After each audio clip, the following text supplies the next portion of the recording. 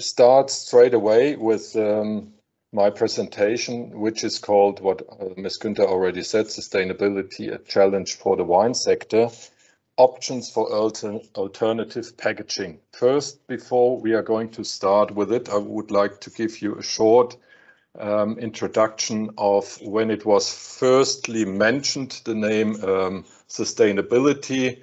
It is uh, written in German, in Old um, German, but it was firstly mentioned in 1713 um, by a forestry guy who wanted to have his plantation um, kept for the future as well. So don't um, cut everything down, so keep it for the future. It is just a rough um, start with it when everything started. So in 1713 it started and continued over 1987 until the year 2015 when the United Nations sat together and started to bring in the system the Sustainability Development Goals, which are um, cut down to 17 so-called SDGs, which represent all the parts and chapters which should be included into the sustainability program.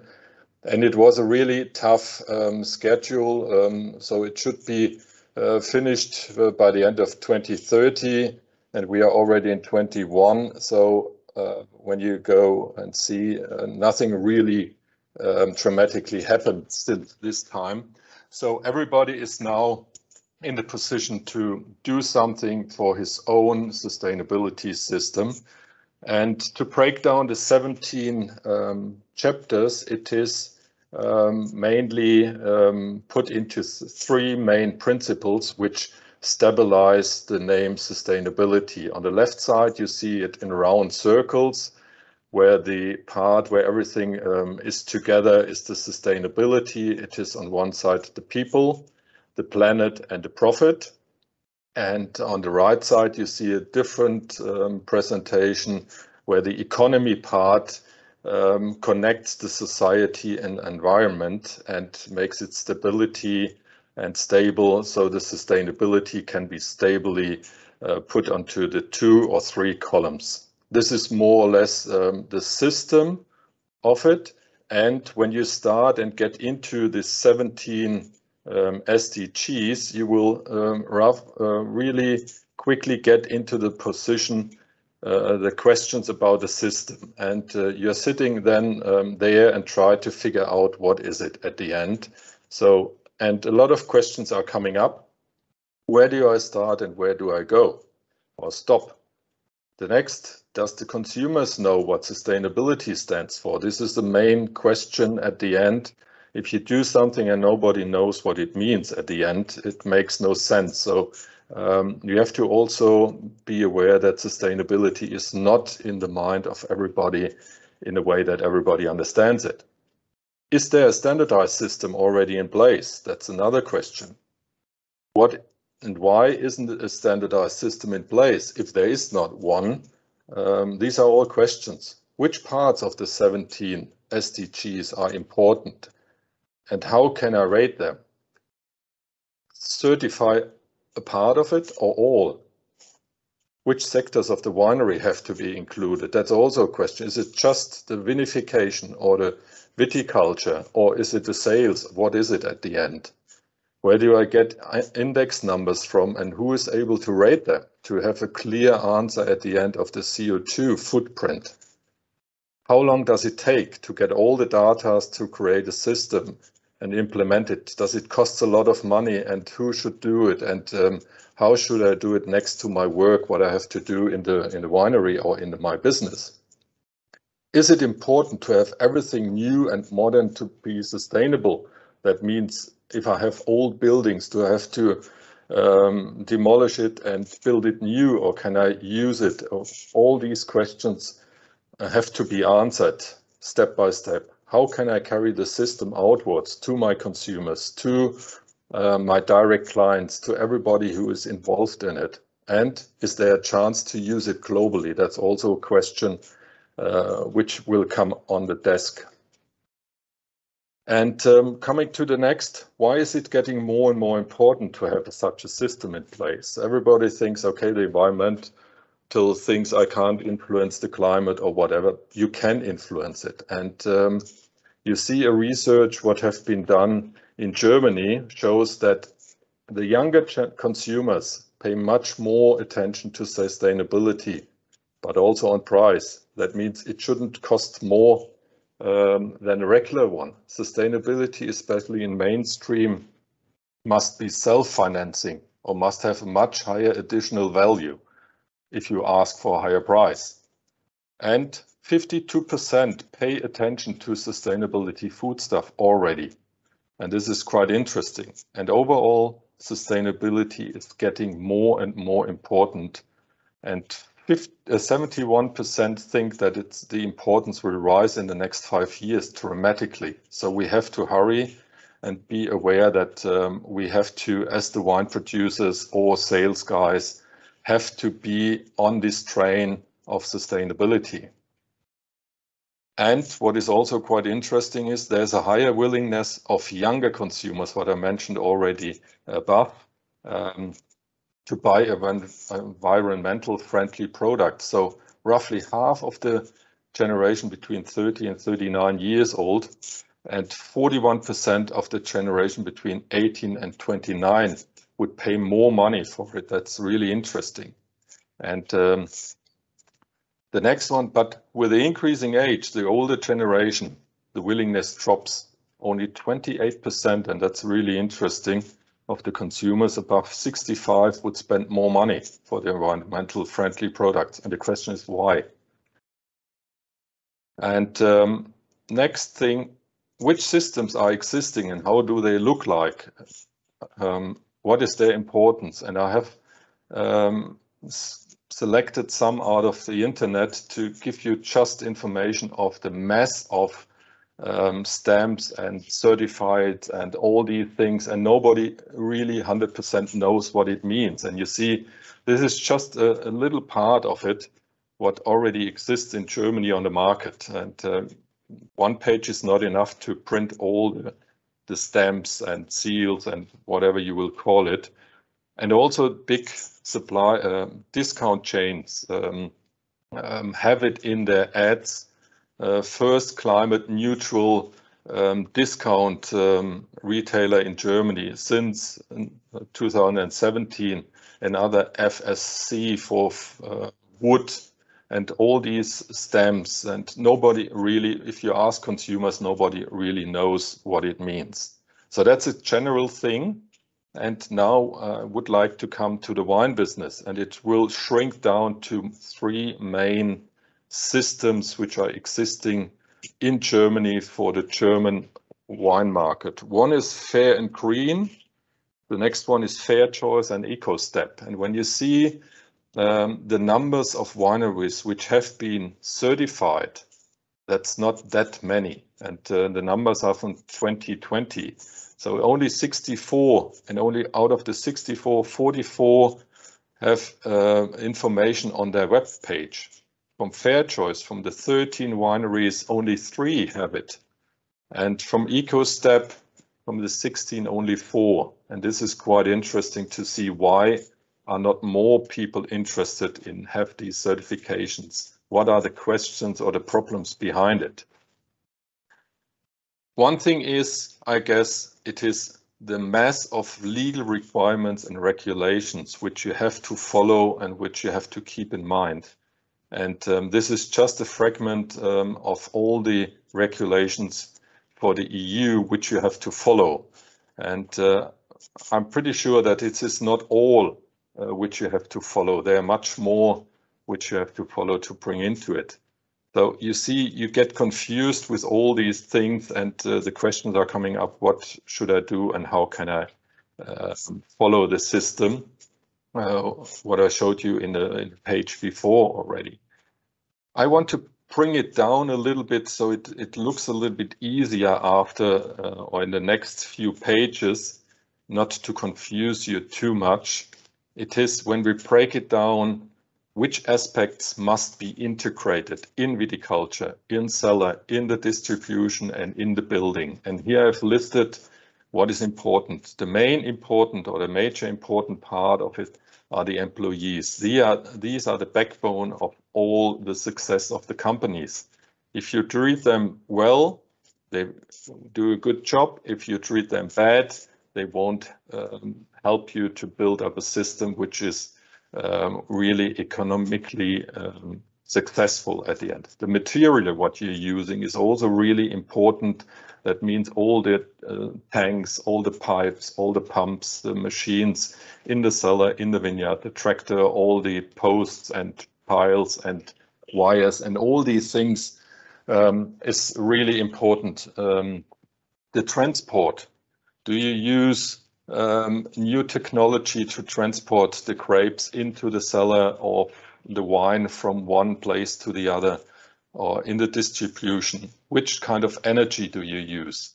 Uh, re, uh, uh, re um, how do you call it? Um, new energy, or is it with coal produced or whatever?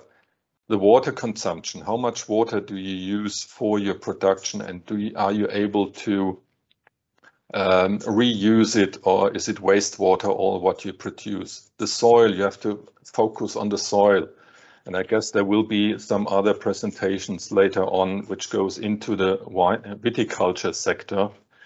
The vines, are the vines suitable for the climate change? Pesticides, do you have to use all the pesticides what you used in the past or you can you think about new things?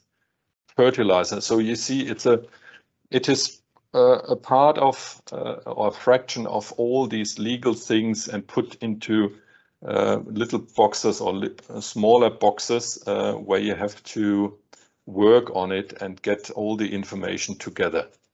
And you see the first, the, the fourth column building with a question mark behind is if you want to have your building also in this um, system integrated, that means has to have everything new or can you use old buildings and uh, old structures and all these things and are they much more sustainable than rebuilding everything? That's also a question what you can answer yourself at the end if you start with a program. So break it a little bit more down to the uh, aspects, go more into the details, social aspects, which have to be respected. Anti-corruption, anti-discrimination, no child labor. This is a big part in special areas of the world fair behavior at workplace, workplace safety, working hours, social benefits, social engagement. That's all what I said um, with the employees. Data safetyness, right gathering of uh, and gathering and unions, no forced labor, documented procedures and responsibilities to make it um, transparent for everybody. And you see um, what is my job, who do I have to report to, and um, um, who is um, my boss and all these things, work contracts and time recording, which is not um, common all over the world. Fair remuneration, that's also not common in the world. Education and training to give the chance to make the, make the next step. So you see in the social aspects, these are the points what you have to respect. And in the eco ecological um, aspects, um, you can see it on this page. I don't have to go into the details. It is all what I mentioned before. Um, you have to see what you can do for the ecological um, and adaptation to the climate changes and uh, rethink about all what you have done in the past if it's still um, good for the future. Uh, and from the economical side, which is also a really, really important part of it, um, you see also quite a lot of points what you have to follow. And uh, with this page, I want to show you the three pages that it is not only one part which has to be followed, it is all the parts you have to follow to make the system stable. And it is not one where you have less aspects to follow, it is, you see on the three pages, more or less the same um, quantity or quality of questions what you have to answer. It is quite a lot, but at the end, if you already have a, a successful system in place, you will see um, it is at the end not that complicated to uh, follow all these questions or answer all these uh, questions. And what is also important for a sustainable um, information and CO2 footprint of your company is you need information about your company, the size of the company in hectares, how many hectares are under production, the quantity of wine in bottles, uh, what you're going to bottle or what you sell on, in, in, uh, in bulk.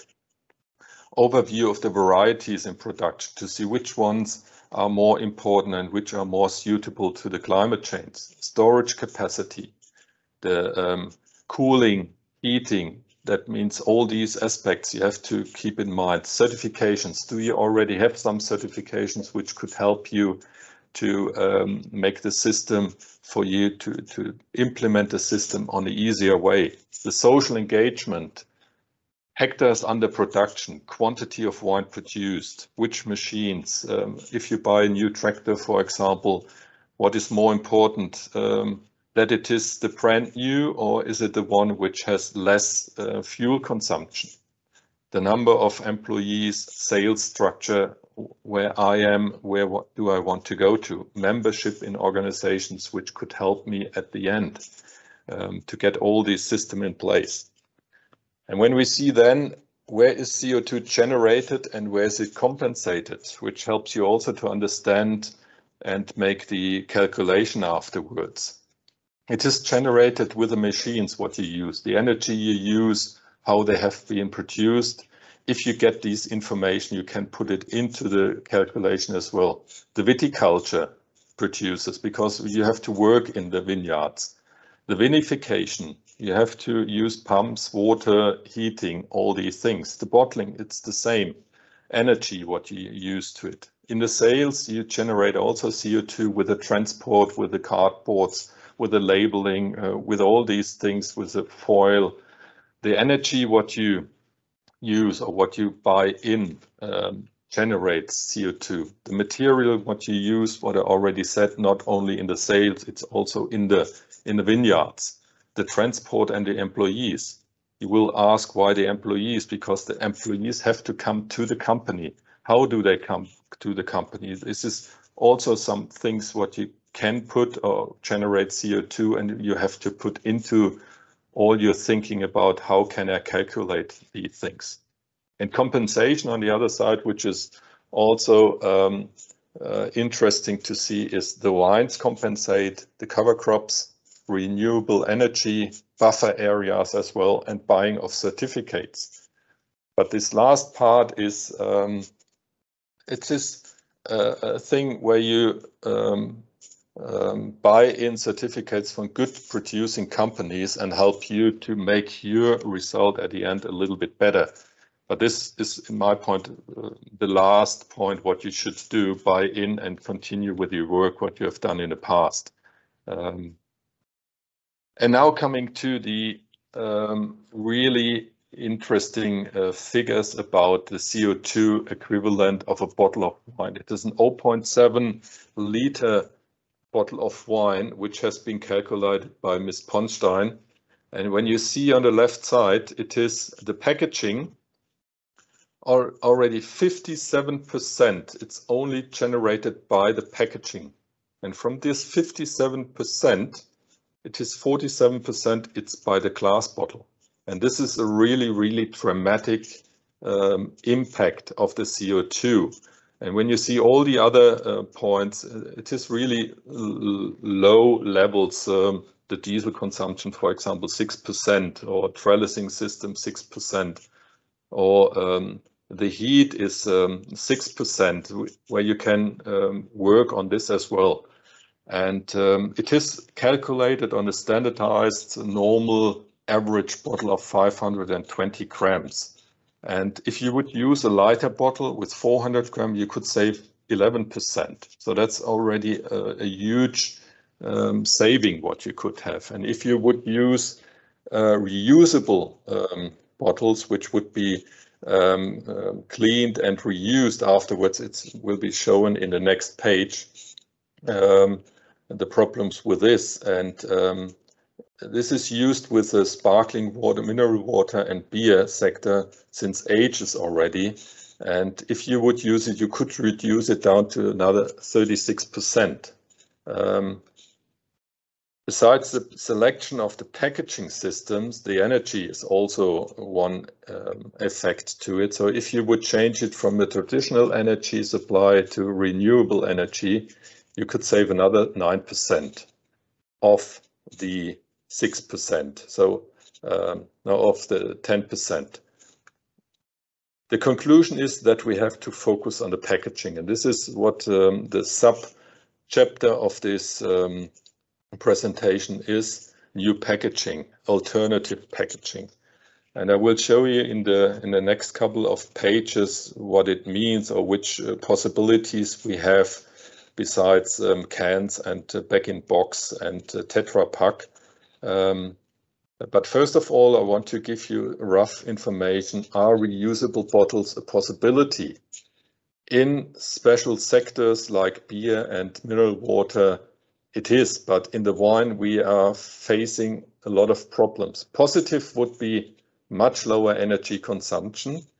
New glass production needs 50% higher energy than um, cleaning the bottle and therefore a much lower CO2 output because of the energy impact. It is 10.2 grams instead of 380 grams, what we have seen in the page before. But negative is that we have up to, and this is just rough numbers, up to 200 different sizes, colors, mouth of it, closure types, and all these things the acceptance of the bottlers because the bottles doesn't look nice because there are scratches on the outside. The use of glue, which is not dilutable with base, for example, this is also causes problems. So there are some residual labels or um, glue on the bottles afterward. So visual impression of the bottle, that's also the point what I mentioned in the chapters before.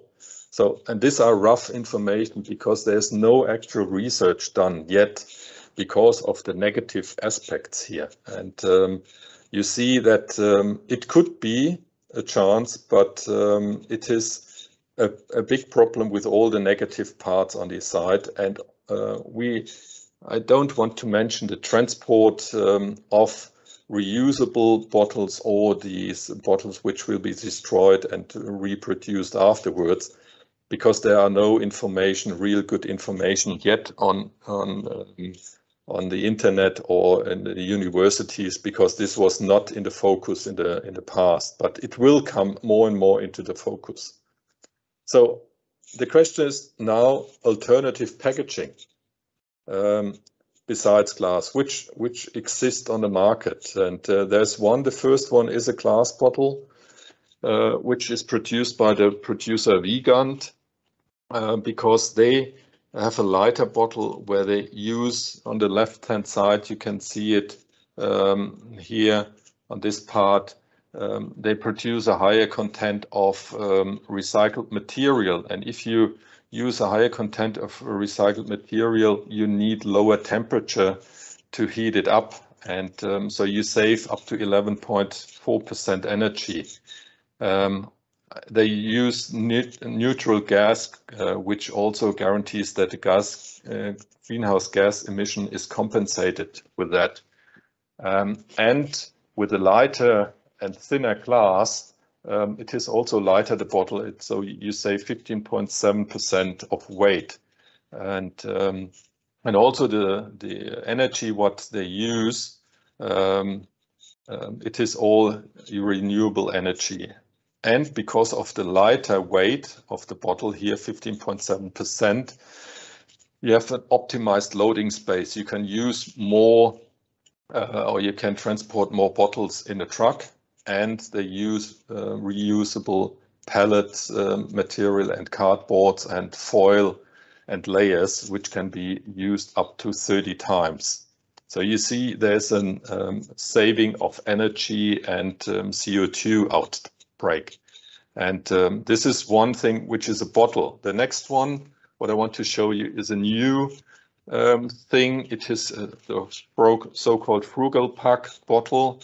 It is a kind of bag-in-box um, in a bottle-shaped cardboard uh, stabilization outside. It is 94% um, recycled paper board outside and you can easily unfold um, this kind of bottle afterwards and uh, bring the uh, cardboard back into the uh, recycling bin and also the plastic can be recycled.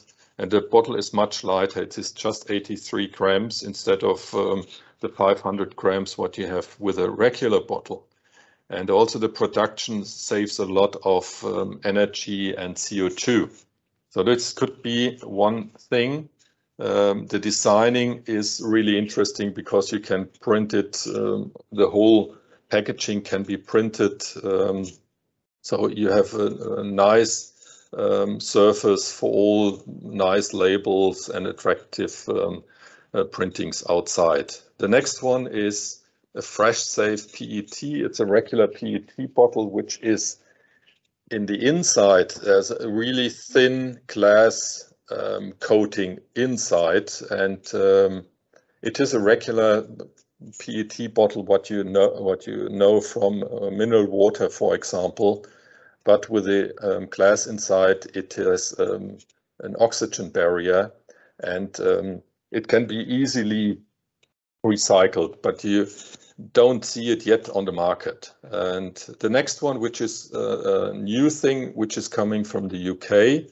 and which is quite popular right now in the UK and in Scandinavia. It is a, a flat bottle out of plastic. It is 100% recycled uh, material and it can be uh, recycled 100%. Um, it is 87% lighter than a regular bottle, 40% spatial smaller. So um, it is like a book. Uh, you can put it in, in a shelf uh, easily and you don't have uh, a lot of air during the transport in the in the cardboard. So these are alternative packaging systems which look a little bit um, arty-farty, I would call it right now. But this could be something um, if we convince the consumers um, for the entry-level wines um, to use this one because uh, in the entry-level wine is the majority of the wine which is consumed. So this is the, the last page of my um, presentation. And um, I want to thank you very much for your attention.